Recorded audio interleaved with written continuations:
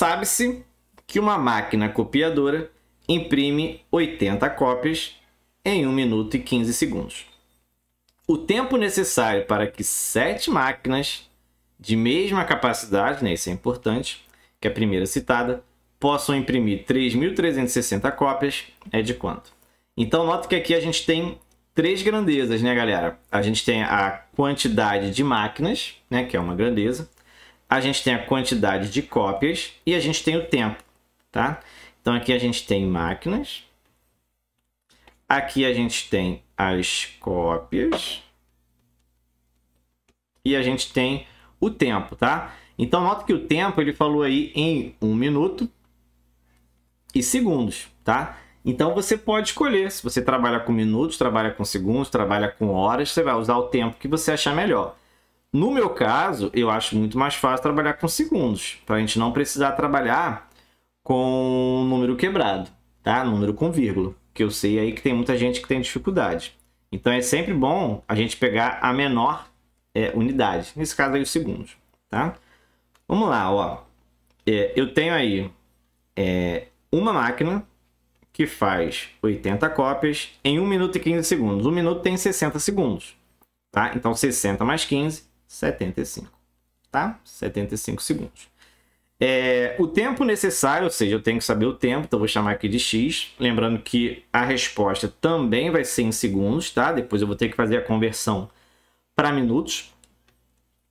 É, o tempo necessário para que sete máquinas de mesma capacidade possam imprimir 3.360 cópias, tá? O que, que eu aconselho aqui, né? Quando a gente está fazendo aí regra de 3, tá? Regra de 3, é, composta, a gente sempre vai comparar as grandezas de duas em duas e eu sempre gosto de comparar é, a que tem a incógnita com as outras, porque é ela aqui que vai ficar separada na, na, na igualdade. Tá? Então, é ela que vai ficar aqui, ó, 75 sobre x separada na igualdade. Tá? Então, vamos lá. Ó. Quanto mais segundos eu tiver para fazer essas cópias, menos máquinas eu vou precisar trabalhando para fazer um determinado, uma determinada quantidade de cópias, tá? Porque eu vou ter mais tempo, beleza? Agora, comparando segundos com cópias, quanto mais segundos eu tiver para fazer aí as cópias, mais cópias vão ser feitas, tá? Então, segundos e máquinas inversamente proporcionais. Então, na hora que eu trouxer a fração do 1 sobre 7, vira 7 sobre 1. Eu vou inverter, tá? E aqui, ó, segundos e cópias são diretamente proporcionais, ou seja, as setas estão apontando para a mesma direção.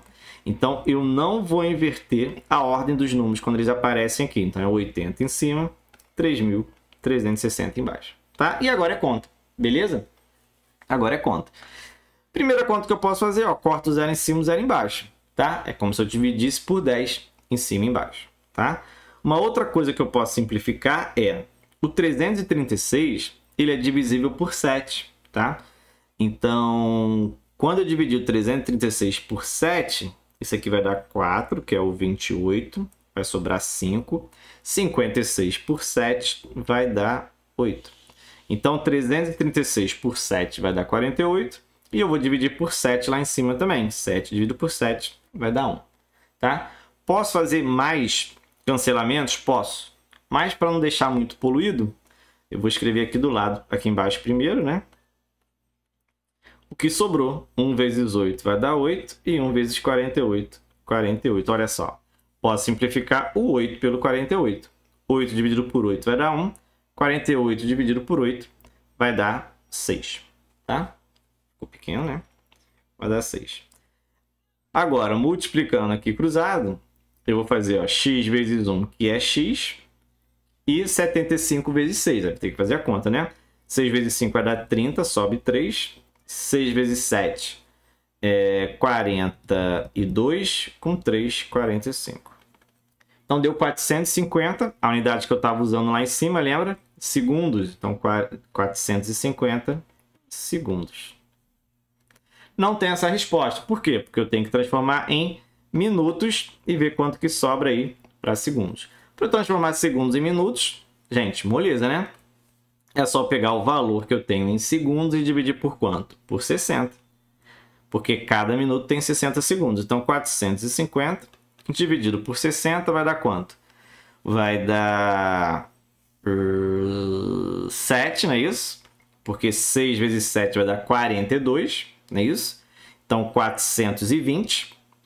Para chegar no 450, do 420 faltam 30. Então, isso aqui vai ser 7 minutos e 30 segundos. Tá?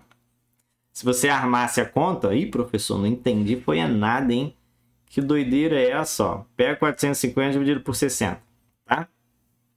Isso aqui vai dar 7. 7 vezes 60 vai dar 420.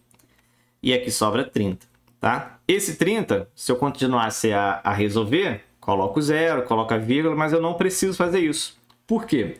Porque se eu estou pegando 450 segundos e divido por 60, a minha resposta vai ser em minutos, né? Para isso que eu fiz essa conta. Como 450 já era segundos, o que sobrou aqui são os segundos. Então a resposta 7 minutos e 30 segundos.